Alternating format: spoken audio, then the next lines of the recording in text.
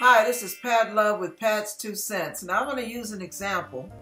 It's a strange example, but you'll get my point as soon as I make my point. Okay, listen. when I was younger, my father used to make me drink a, a teaspoonful or a tablespoonful of cod liver oil. Nasty, nasty, nasty. Now, but let me tell you this.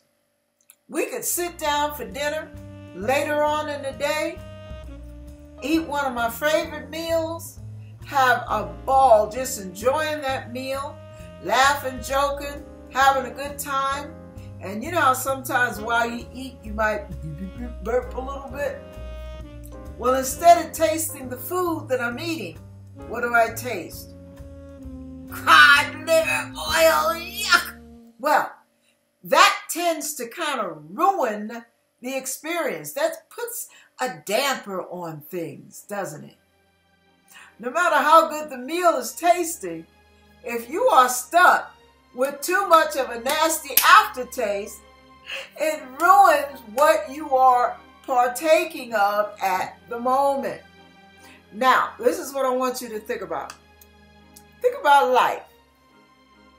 And just recently, maybe five or ten years ago, you had a very sour experience, very hurtful experience. Mm. And here you are in the present, and you have a wonderful relationship, a wonderful friendship, wonderful whatever. But something about that back there keeps souring every beautiful moment you have right here in the present. And it's difficult for you to enjoy the blessing that's before you.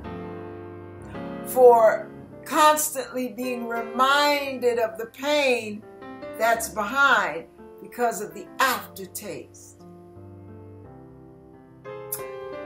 There are people who as children or teenagers, you know, some of your parents may have left, may have upped and left, ran off with another lover, left your mama, left your papa, whatever.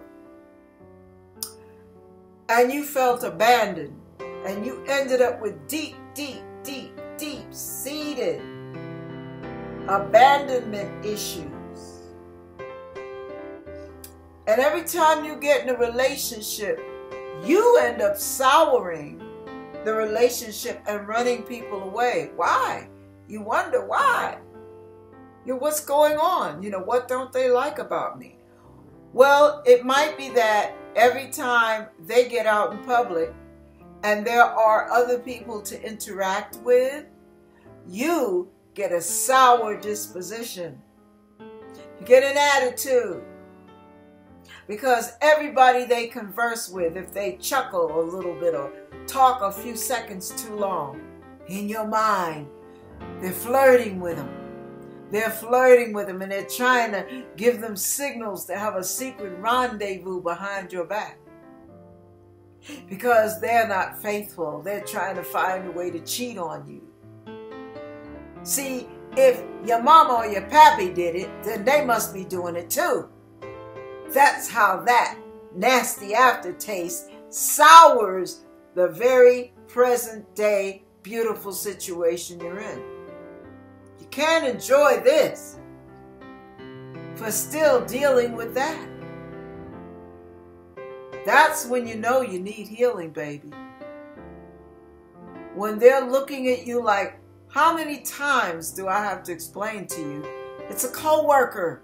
How many times do I have to tell you we go to church together? Why is it everybody I have a conversation with, I've got to be flirting with? If you hear that in every relationship you're in, you better stand in front of the mirror.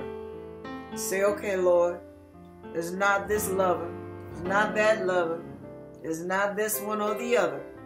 It's me, Lord, standing in the need of prayer, healing, deliverance, freedom. Help me, Lord. And you seek that help until you start getting it. And you keep seeking it until you no longer need it in those areas. God bless you. You'll thank me one day for that. You may not like it now, but you'll thank me. God bless you.